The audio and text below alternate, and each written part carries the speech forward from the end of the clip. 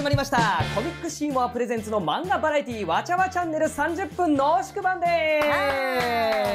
はい。ということでわちゃわチャンネル早くも第2回目でございますよ。はい。今回はどんな漫画に出会えるのかしら楽しみでもありがとうございますよ。この30分濃縮版はどういう内容かと言いますと、はい。えー今後どんどん人気になるであろう、うん。ネクストブレイク間違いなしの作品に特化して、うん。流行を先取りしてお伝えしていくというとっても濃い30分なんでございますね。つまりこれを見れば将来のブームが人より早く分かっちゃうってことねはい、その通りでございますよ。勉強しましたね。いいですね。えー前回ね、やった感じだと、うんあの、俺ら喋りすぎてるから、ちょっともっと内容に行こうと。そうねえーそうね反省点を生かしうんます。そう紹介していかないとえ思うねーえーでもね、ちゃんとね、わちゃわちゃもしますから。ということでございまして、まあ、その千秋さんね、千秋キングといえば、うん声優界きってのセクシー六戦な方じゃないですか。はい言うならば、むしろ唯一と言ってもいいかもね。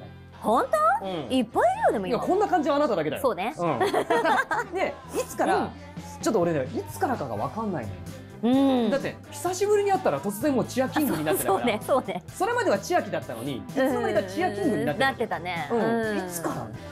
うんでも昔から結構そういうの好きだったけど、うん。やっぱり若い時はあのそういうなんか派手じゃなくて、まあよくあるじゃないですか。黒髪ロングとか。そうそう。ああいう風に。黒髪ロングストレートのスーツだったじゃん。でもスーツも怒られてたよ。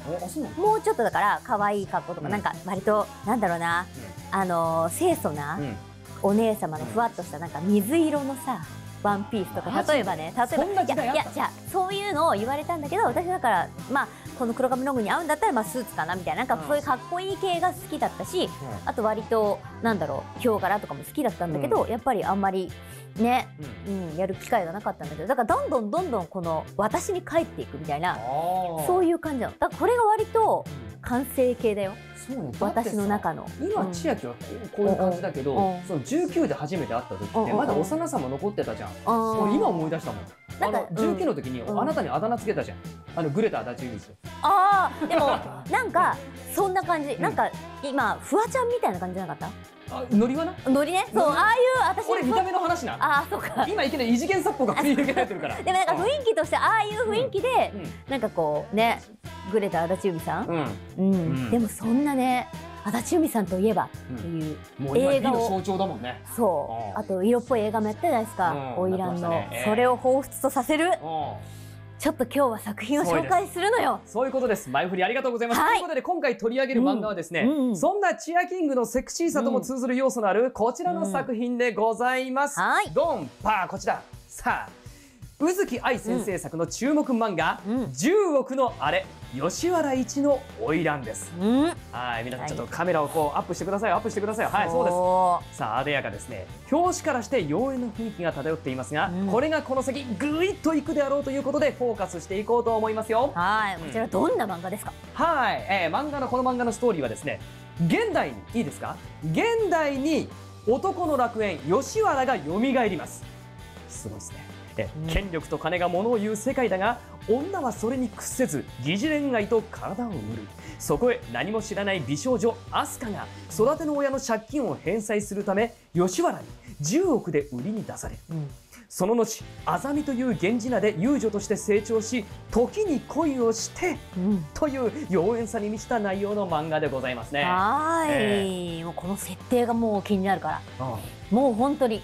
てか私もこれ実はハマって読んでるんですけどねもうね。俺ね今回紹介させていただくことで初めて知ったのよ、うん。だからまだ触りしか知らないわけ。ああわかるわかる。でもやっぱ俺の世代で吉原ってなるとあ昔のさ男のロマンなんだけど、うんやっぱり現代に蘇ったってことはあ、うん、花魁道中はあるの？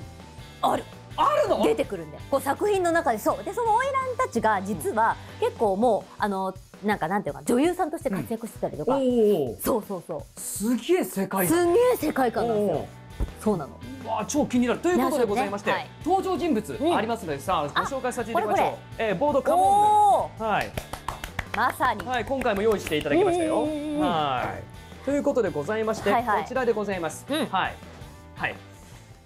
主人公はですね、まだ男性経験のない無垢な少女、アスカ。えー、清川アスカでございますね。19歳、こちらでございます。うーんはいはいはいはいはい、清楚でございますね。清川と書いてあるだけでも清楚な感じが漂っておもうります、ね。黒髪ロングですからねはい。前髪パッツン。そうそうそうそう目ポイントポイントポイントポイント唇キュッ。鼻はかわいといいかわいいはい、んいうことでございますね。あ後にですね、あざみ、こちらですね。うんあざみという源氏名で、花扇というお店で働きますね。うんこの花織は一流なんですよね。そうなんです。まあ、このヒロイン、主人公がこう出ましたら、次はヒーローでございますよ。うんえそして、花扇の常連であり、大企業グループの跡取りでもある、あざみに好意を抱き、優しく接する真摯なお客様、麹屋正信、こちらでございますね。はあー、色男。い。なんかね、優しい感じだけれど、なんか抜け目ない感じがしますね。ちょっと先端じゃなくてね、あの、七に寄りがちなこう前髪をタラッとやって、涼しい感じで。これでも顎引いてね、ちょっと上目。うここのハイソサイティな感で、じ、ちょっと垂れ目なところがね。そうなんですよね。ね。垂れ目の男は気をつけろ。そう、わかる。はい、うんそしてですね、えー、あざみの良き相談相手であり、花扇の用心棒の男、こちらです。三倉。こいつがまたね、いいやつよね。ちょっと待って、実はいいやつなんだよ。アイパッチしてますよ。だからこの独眼竜系が えいいと思う、私は。え、これ幼少期絶対し、あの、あだ名は、うん政宗かサガットだよ。まあそうなんだけど、うん俺サガットに一票。でも幼少期からこれだったかな。あ、そっか。そういうこと。だから何かやんちゃでこうなったのかうんわかんないよね。そうね。なんで用心棒になったのかいろいろなことがあるからね。そうなのよはい。さあ、そしてですね、花扇で遊女の監督係兼、あざみの教育係となるやり手の睡蓮さんでございますね。ねいやー、華やかですね。うーんでもこれ若かりし頃も何かさぞかし妖艶な方だったんでしょうね。ちょっと彷彿とさせるわよね。ええ盛りの頃はどうだったんでしょうかね。盛りのえ頃。女盛りの頃ですよ。いいじゃなそねいうですか。。やっぱり女盛り、盛りの頃、吉原っぽいじゃないですか。うん伝説のさほら伝説だったんだろうねああ、あるかもね、あるかもね。そうよこの人はいもだからそれをねこう、ね若い子に教えるってまあ大事な役どころですから。はい。うんということで、千秋さん。はいなんでしょうこの、この熱い重力なれ、吉原一の花魁をですね、うんうん。はい。感情を込めて朗読させていただければと思っております。おお、はいやったつまり、うん高橋さん、はいをやってくださいよ。あはい。いいんですか？はい。ということでございまして、朗読いたしますのは、第6話で、主人公のあざみが思いを寄せる麹屋に、初めて花魁としての着物姿を見られたシーンからでございます。はい久しぶり、あざみちゃん。麹屋様着物姿初めて見た。似合ってるね。今日さ、約束してないんだ。山吹忙しいでしょ？え？ちょっと、付き合ってくれない？え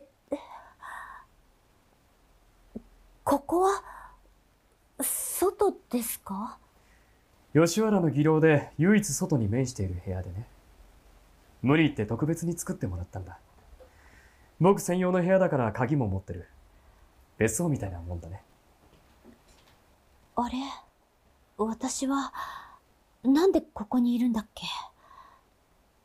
葵姉さんの客の相手をするはずだった部屋に向かって走っていたなのにこの人の顔を見た途端何も考えられなくなったでも、それももうあと少しの間だな。今度、海外に赴任することになってね。しばらくは戻れそうにないんだ。母親の命令でね。こっちのこと何もかも投げ出すって感じで。なんかいろいろ考えるのがバカバカしくなってね。気がついたらここに来てたんだ。うちはさ、母親の絶対君主制国家なんだ。あの人がグループを大きくしたから誰も逆らえない。跡取りなんて言うと聞こえはいいけど、実際は奴隷だよ。小さい頃から厳しく教育されて、少しでも気に入らないことがあれば平手が飛んできた。家の中で人権を得るためには、要求された以上の結果を出さなければならなかった。それでも必死にやってきて、それなりに成果も出したつもりなんだけど。相変わらず僕は都合のいい手駒かってね。愚痴ばっかりでごめんね。アスカちゃん。いい子だからね。親の言いなりになっても報われないです。私もずっと言いなりだった。親の言う通りに女子校に通って遊ぶ間もなく勉強して、結果、ここに売られたんです。あ、いや、すみません。こ、工事屋様が報われないってことじゃなくて、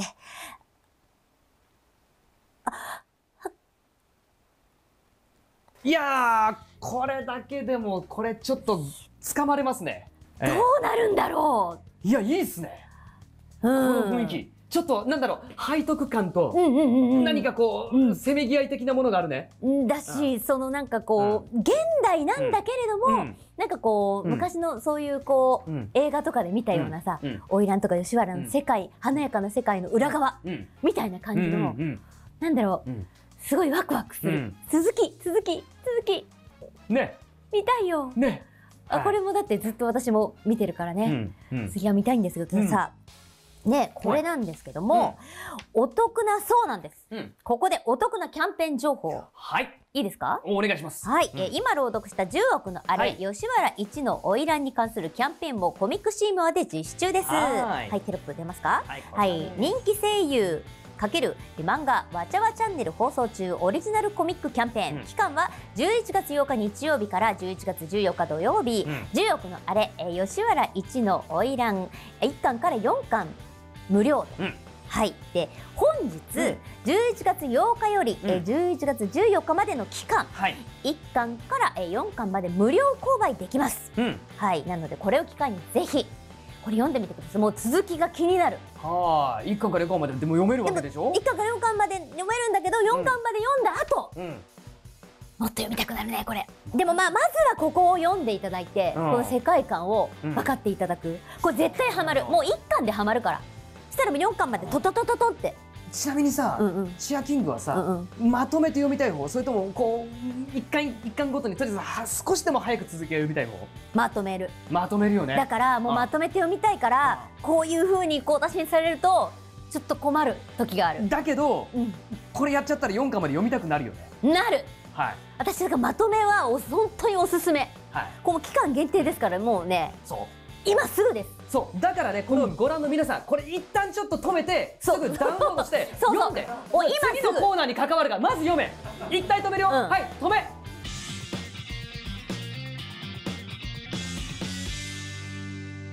はいということでねい。いやーみんな読んでくれたということでありがはとう。もうね続き気になるよね。いそうそうそうこっからのコーナー物のことも全部分かってる分かってるからね。はい、ということでございまして、うんその朗読しました10億のあれをテーマにこんなコーナーをやってみたいと思います。チアキングお願いしますよ。はーい。アニメ化先取りイマジネーション。あーいこれより近い将来10億のあれがうんアニメ化されたら、はい誰が演じると面白いかキャスティングごっこをしてみたいと思いますいや。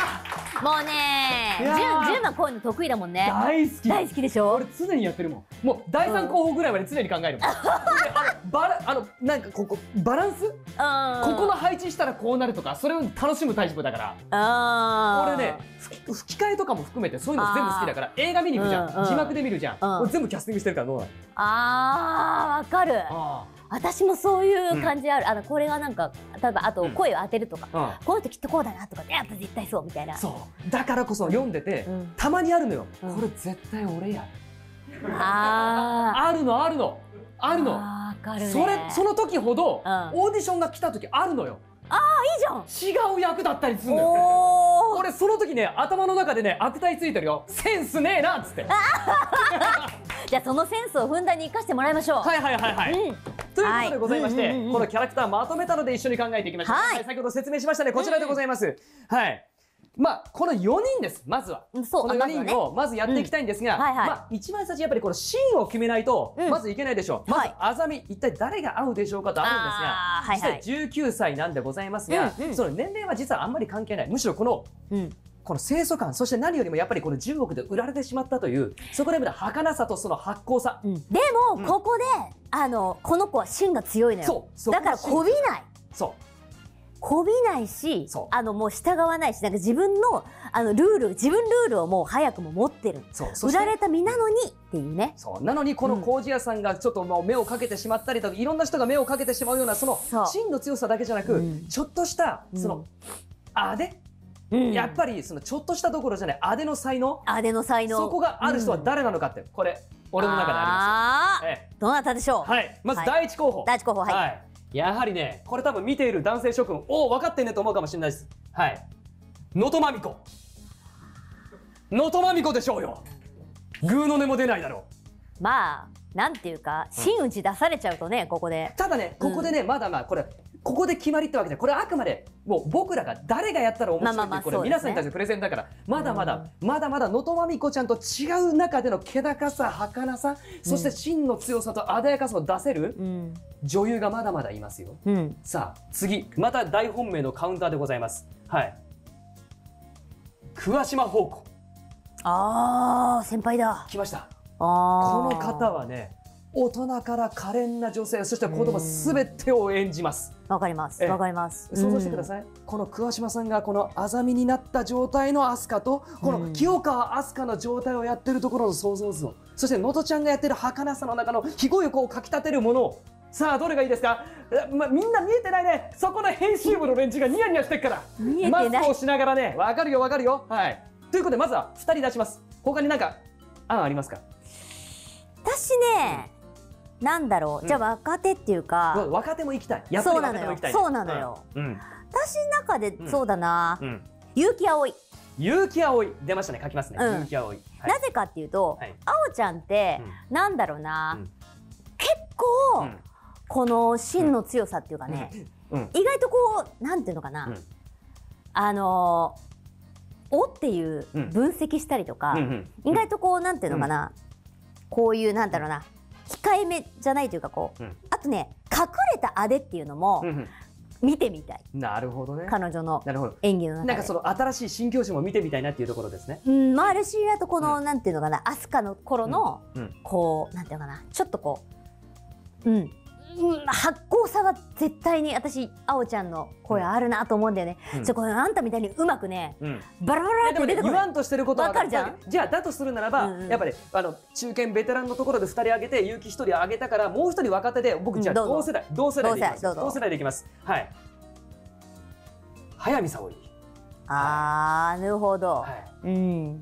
まあまあまあわかりますわかります。え抜群の癒しボイスと演技力、うん。必ずこのねやはり同じ全然違った形でまた飛鳥の状態とあたあざみの状態そして彼女の成長、うん。そこを描いてくれるに違いないわかりました。はい。うん。じゃあもう一人挙げるうん。と寿美奈子だな、寿美奈子。はいはい、はい。はい寿だけ書いてなんかねひらがなばっかりだからります自分を書いたみたいまあ、そうねちょっとね後で清書します、はいじゃあこのあざみばっかり言ってましょうかじゃあこのねここで上げましたじゃあ次こいつですよこ工事屋のねこれねやっぱりねそ第一党は多分ねほぼね女性陣ねあの合ってると思う俺俺これ二人ねこれ私から言っていいあいいよいいよ男性だからお私いけいけいけいけ遊佐浩二さん。ゆさこうじ来ましたか？ゆさこうじゆさこうじ来ましたよゆさこうじはい。アジアナンバーワン声優ゆさこうじですよ。あのね、じゃあどうしてかっていうと、あのーこの工事屋さんってちょっと後半変わるんだよね。ええうんうん。ちょっと変わっその変わり身はをちゃんと演じられる人、なんて言ったらいいのかな？やっうんぱちゃんと演じられるっていうかあの変わり身をうまくいいさじ加減でっていうのって、完璧だと思うんだよね。なるほどね。ゆさこお兄さんかなと思う。ただね僕もね、ここね今うん。工事屋のセクションなんだけどゆさこうじさんをね、うん。僕もキャスティングしてるんです。でしょ？ですがゆさこうじさんはこの工事屋じゃなくて私このなるほどね。僕はゆさこうじはゆさこうじはここなんです。そうなのか。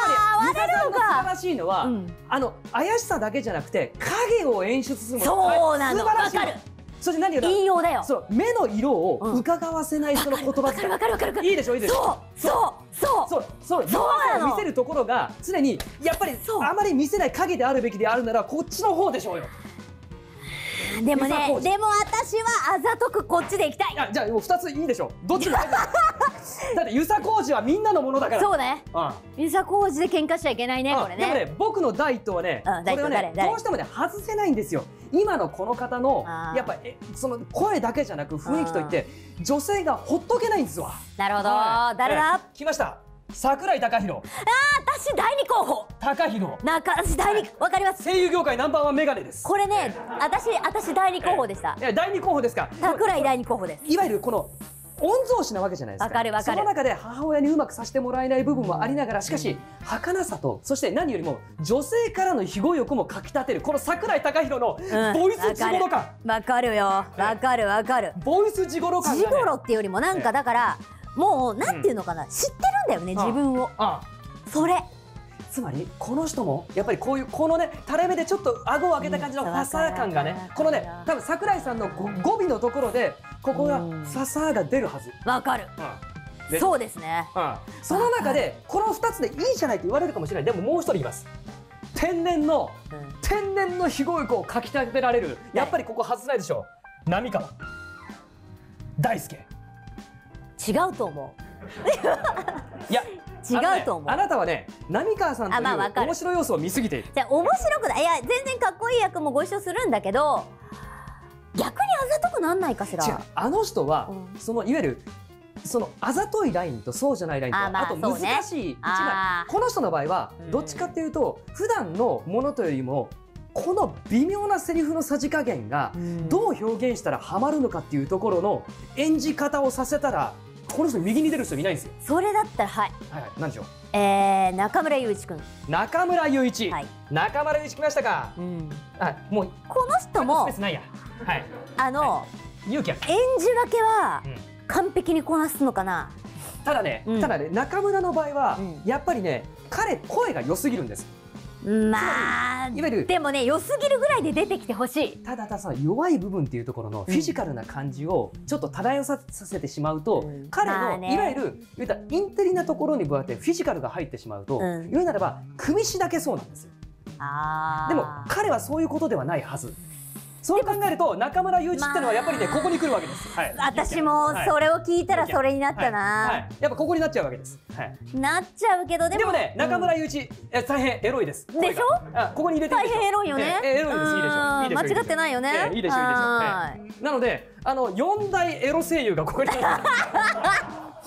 悪口じゃないです。悪口じゃないですから。ね俺多分怒られるよねこれ。悪口じゃないよ、はい。めっちゃ褒めてる。ということでここのアイパッチはい。はいみくらはいここに行きましょう。これまあねさっき出ちゃった。私的にうんうんなんとうーん。うーんでもそう言われちゃうとな。いやでもねここねうんまだまだいるんです。うん。あいるんです。はい。はい。下野紘下野紘うん、下野紘 うん、意外といいんじゃない？あいつ全集中してもできますか？できる。わかりました。いいでしょ新しい扉を開いてほしい。うはい下野 いいですね。うん。こういう冒険枠もいいでしょそうです。うじゃあ冒険枠言ってくれたんで僕はド本命いきます。ど本命どうぞ。ど本命。ど本命。これ言ったらねひれ伏すよ。これしかないでしょ。津田健次郎。私ねでも津田健さんはもうちょっとマッチョなイメージなんだよいや分なかってない分かってない。分かってない。マッチョとかそういうことじゃなくてあの人はうん。肉体力というよりもあの人の声の持つうん儚さと背徳感、うんあの人にしか出せないアウトローの中の優あまあね。しさと儚さがあるわかるわかる。まああのね聞いてみたいとこだよ多分ねね多くの方が「なんだよ、やっぱり津田健に行くのかよ」って言うかもしれないんだけど、うん。それをひれ伏すだけの声の力がこの方にはある、まあだそれを言うなら私も私若手だな若手？になるかも若手？あじゃあな誰だ？誰だ？誰だ？えー前野智明前野智明来たね繊細だね、うん。前野くんはね本当に気を使える方だからね、うん。前野くんそう漢字で書いちゃおう。はい。あのねじゃあうん。前野くんはうん。あのねうん。こういう私ね言うてもこの人うん。もともとその三倉さんってチャラチャラしてる、チャラ男だと思うんだよね、なんとなく、うん。だからなんかちょっとそういうこうなんていうのかな、まうーんやんちゃだやんちゃ声みたいな。やんちゃでチャラチャラちょっとチンピラじゃないですけど、はいはい。そういうような要素もありかなと思って前野くんいそうね。けるかなと。そうなってくるとやっぱりどうしても2人ぐらい名前がさらに出ちゃう、まあ、出ちゃう。そうなってくるとそこの中のやんちゃもして。そうだけどやっぱりその相談に乗れるというそうそして守るというその肉体感もあるとやっぱりうん。鳥海康介。はい。あそう私も。でもと鳥さんも、はい。もう見た目かね鳥さんでよくない？あちょ鳥さんもそう思ってた。来るね、うん、来た来た。来たね。本命も出てきたね。言おうと思ってたんさだけど。あそういった中で次行きましょうか。睡蓮さんですよ。ここはねキャスティングの見せ所ですよ。はい。そうですね、ええまあでも同じ女性まあでも先これ輩ねちょっとねあのうん。年齢的にあの設定をどこまでこううん。組むのかどうかっていうよりも僕はやっぱりうん。生命力だと思うんですよ。はい、うん生命力、うん。これねいくつか全然違うパターンでどれもハマると思うんです。ちょっとお願いします。でもね、うん。俺ねやっぱうね、ん。この方でみ聞いてみたいっていう、うん。えー林原さんです。メグさんか。絶対的。あー。はい。あのひらがなで書くこともできなければ継承を略すこともできない人です。えーはい。いやちょっとねあの声の若々しさがあると思うんですけどそういったあの声云々というよりも存在の言葉一つで優しくも弱くも強くもあり得る人なんですよ。絶対的な才能がそれを凌駕するはずなるほど。ええ。私はでもまあなんていうのかな、うん。ステレオな感じ、うん。で申し訳ないけど田中敦子さん？田中敦子さんね。まだまだ女盛りでございますよっていう田ね中敦子はいさんはやっぱり、俺このコーナー熱くやりすぎじゃない？うん、い。やでも生き生きしてて大好き、はい。うん。はい。これ5時間ぐらいやれるよね、ええ。でもね、うん。こうなってくると、まあやっぱりここのラインになるので、うん。えっともうちょっと若手と、うん。プラスもうちょっとベテランもちょっと上げてみたいですよね。そうなってくるとベテランのところでやっぱりこう上がってしまうどうしても上がってしまうんです。こういうポジションの方には、はい。え勝木雅子さんです。あはい。もうね、言おうと思ってた、はい、絶対上がるんです。言おうと思ってたこと全部言わないで。そこを上げちゃうとね、そこを上げちゃうとね、うんじゃあじゃあ若手で誰行く？若手若手若手。もうちょっと若手。林原さんよりも田中さんよりも若手若手誰行く誰行く？今強い女性と言ったら誰？だけど美しいそしてセクシーそうこの人を外せないでしょう海田優子です。はい。ああ、はい。海田、はい。海田優はい海田優子優子ちゃん、そうです。かうんだったらはいうん誰？パクロミさん、パクロミさうんん強いね強いんじゃないかな、はい、パックンと書いておきましょう。はい。はい、パックン。俺怒られるんだマジで。怒られますね、ええあでもこれ全然褒めてますよ悪,、ええ悪口じゃ全然ないでも睡蓮さんはねどれをキャスティングするか全部成り立っちゃうんですよ。成り立っちゃいますねね。じゃあでもねもっと上でも見てみたい。もっと上でも見てみたい。あ、勝木さんクラスで見てみたい。うーんえっとね、あとね、あとね、もう本当に小宮和恵さん。はい。あはい、和恵さん、字が間違ってたらごめんなさい。はい、はい、あ、はい。小宮さんねわ、かりますわかります、はいはいはいはいなんかだからもうんう、なんていうかこれもう、ほすごいね。うん。この大丈夫？時間？すごいよね。あのね、早送りできるから。あそっか。まあでも白熱しましたね。そう、ここで一応挙げましたが、はい。あのね、本当こういうふうに考えていくと、バランスもまた出てくるじゃないですか。うん。のとちゃんで決めた場合に、じゃあ逆にこっちはあ誰がいいのか。そうだね。そうだね。なんかここのバランスよね。そうなんですよ。うん。だあとここが決まったバランスもあるしどこが最初に何が決まったバランスなんだよね。そうなんですよ。キャスティングって結構だから難しいよね。そういうことなんですね。うん。ええ。つまり吉田さんをコージアがやるんだったらおそらくうん。僕の中ではあのあの桑島さんじゃなかろうかとかね。わかりますわかります。はい。はい。うん、ででここはまあ、そうなってくるとちょっと、うん。あのむしろ下げた方がいいかもしれない。ええちょっとそのバランスの凹凸感を出すために、うん。そういう時にほど前野くんかあそうだね、ええ。そこいけるんじゃないかな、あとそうわかるわかる。実験のでその、うん。いわゆるわざと歪みを出すことによって、いうん。でも鳥海さんいいんじゃない？や鳥海さんここは、ね、で鳥海さん見たいよ。ねどんな人が来てもバランスが取れる特殊能力を持っている、うん、だからこう来たら鳥海さんいっちゃいな、ここなってくると、まこの鳥海さんのバランス感覚はね妖怪一味でますよわかる。え妖怪人間だって思ったことあえ、る私。そういうことなんですよ。わかります。そうなってくるとあの誰が第一党なんだろうな。ここでも私悩むな。うん。でも別の勢力出す。高島ガラさんとかもいいよ。そう私もガラさんいいよね。ガラさんは、ね。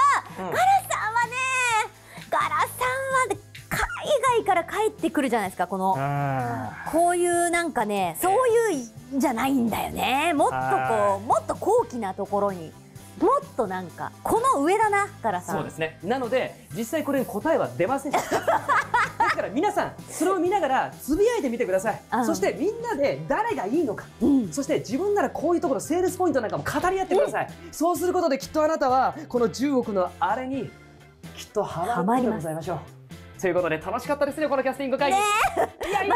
またやりましょう。別の作品でもやりたいなこれ、ねえ。ーはい。ということでございまして、10億のあれとっても面白くなりそうですので、アニメ制作会社の方々そしてですねクライアントの方々もういろんな方が出資してください、え皆さんぜひご検討よろしくお願いします。はい。はい。その前にえ漫画はコミックシモでちゃんとチェックしてくださいよ。そうだぞ白熱しましたね。ということでございましてここからは視聴者の方からいただいたメールをご紹介いたします、えー、シーモア会員ズッキーニさんからいただきました。